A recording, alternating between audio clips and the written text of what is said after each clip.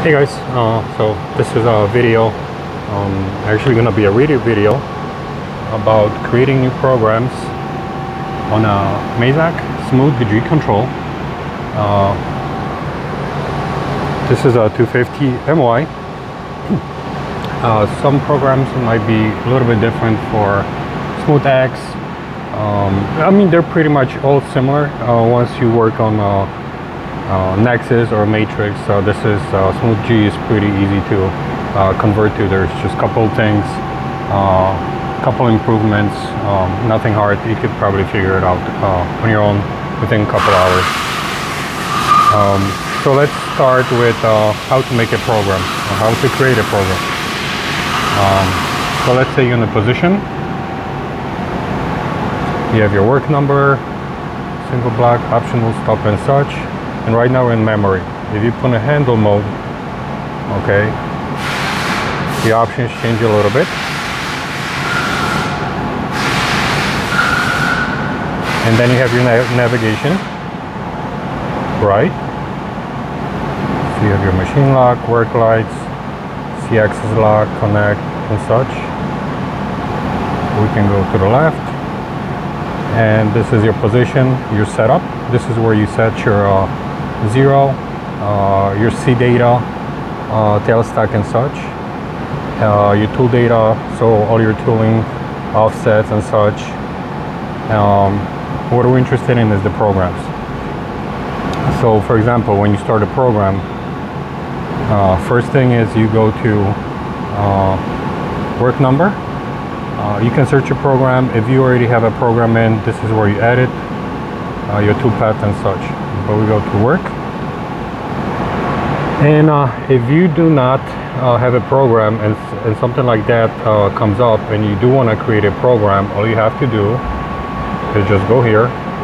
The keyboard is going to come out. You can call your program one enter.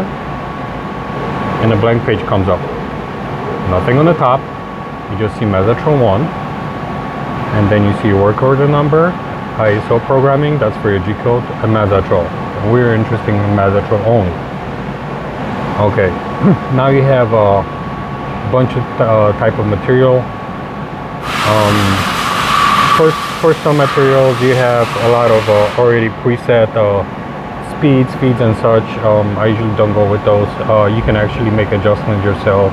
You go to stainless, for example. Uh, your maximum outer uh, workpiece even if it's uh, what this is it's uh, it's pretty much it's telling the machine after it's turning how far it should go up. Um, on the 250 I usually go 6 even 10 if I need more clearance. Uh, minimum zero. Length of the part um, if your part is you know three four inches I usually go with six give myself extra uh, extra space. Work face it's same thing. It's gonna approach um, I don't like when it approaches right to the face. Uh, usually depends on the size of the machine. You can have 40,000 or 80,000 where it starts before cut. I give myself extra room, let's say 200,000 and your max, max RPM, let's go 1,400. Okay, so your material, OD max, ID minimum, length of the part, work face, and then maximum RPM. Now, starts the unit. This is what I usually do um, if you do uh, build your program let's say you know you you uh, build a program let's say just doing a facing so you face then you do OD turn like outside turning so you add turning. So what I usually do is always at the end you have to end a end unit okay? So you have your point that's uh, for drilling and such mills line that's also mill face that's also for light tooling and then turning this is where uh, for late. Then you do manual programming then you have end plane auto set. Okay so we press the end. Now we have end unit. Now if this just comes up uh, that keyboard uh, it keeps coming up and you don't like the position you can drag it. You press this little circle and now it's not gonna move anywhere. Also you can uh, add this and now you have a beautiful solid piece um, and it's actually gonna draw a shape of whatever you do and I'll show you in a second. So we do end continue. Uh, this is if you do like repeating uh, let's say repeating pieces you do washers out of one length um, so repeat and it tells you yes or no. So we go no for so zero. Number parts counter let's say zero so we press zero for no. Return tool change position. So this is gonna retract to the longest tool. Okay or zero position is just gonna go up or sometimes you know you can send it all the way back home to the back. So tool change position next program. This is if you do doing multiple programs. Now we're at the end.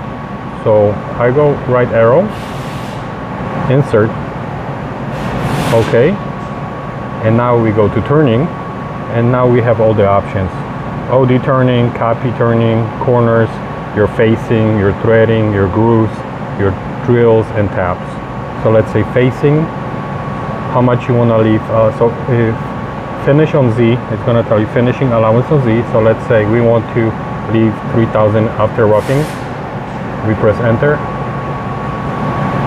Once you press enter you have a general out uh, rougher And finish you have your tools so let's say um, I want 80 degree tool which is automatically uh, assigned from the tooling from my library, but I want to, let's say 55 degree for finish.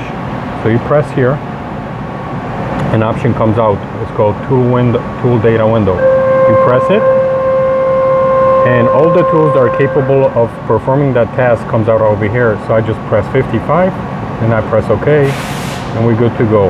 Depth of cut, let's say 25,000 per, per cut.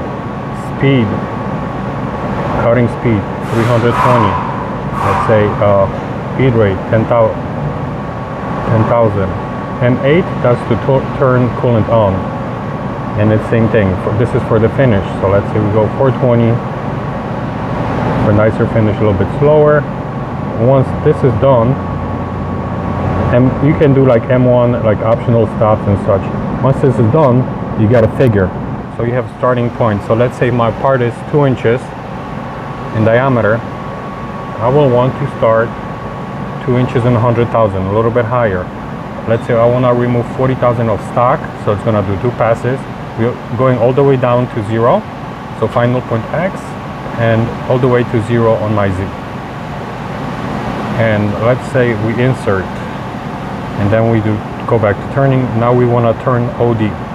And now you have options. If right is starting cutting outside, in the middle, inside, inside in the middle, face and stuff like that. So this is uh, how you create a program and this is how you add uh, units. Thank you for watching and I'll see you soon.